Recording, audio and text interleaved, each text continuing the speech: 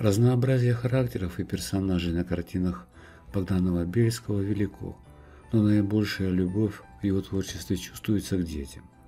Художника привлекали их искренность, открытость, сметливость и светлое восприятие окружающего мира. «Я так много лет провел в деревне», – говорил Николай Петрович. «Так близок был к сельской школе, так часто наблюдал крестьянских детей, так полюбил их за непосредственность, даровитость, что они сделались героями моих картин.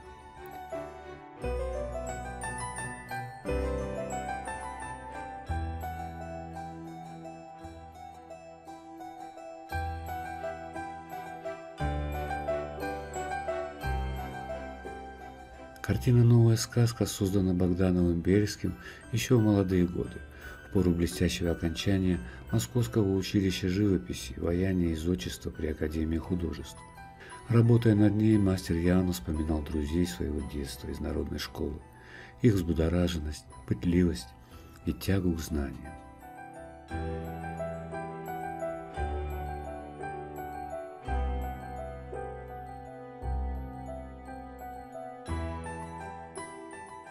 Ребята, сидящие на полу деревенской избы и с увлечением внимающие сказки, изображены невероятно живо, а их лица прописаны очень детально – Внимание зрителей сразу же привлекает маленький слушатель в алой рубахе и взгляд его чистых голубых глаз, устремленный в бесконечность.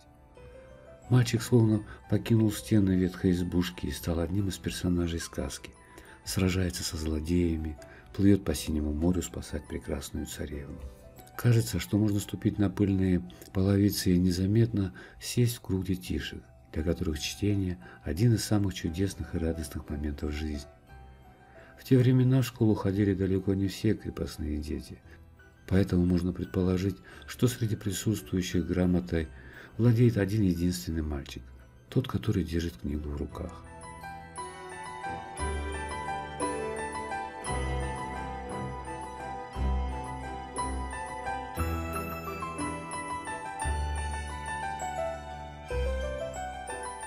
Ставя цветовые акценты, художник – не злоупотребляет яркостью красок.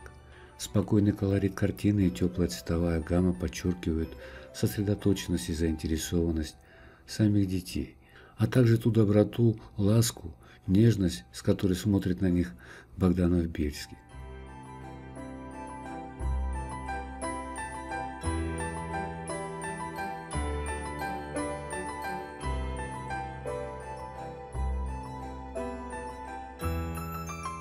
Неотъемлемой частью образно-смыслового содержания картины становится и окружение ребят. Сваленное в груду на палатях, тряпье, колыбель с ярким рушником, стоящий в сенях и внимательно наблюдающий за всем происходящим теленок, мирно устроившийся на страницах из учебников кот. Все они помогают представить крестьянский быт того времени. И тут нельзя не отметить тот факт, что Хотя художник своими глазами видел нищету и обездоленность русской деревни, в его картинах всегда было нечто большее, чем просто отображение убогой реальности. Представленные на его полотнах крестьяне стремились к образованию и самосовершенствованию. Они хотели вырваться из тьмы невежества. Именно с детьми живописец и связывал собственные надежды на лучшее будущее для простого народа.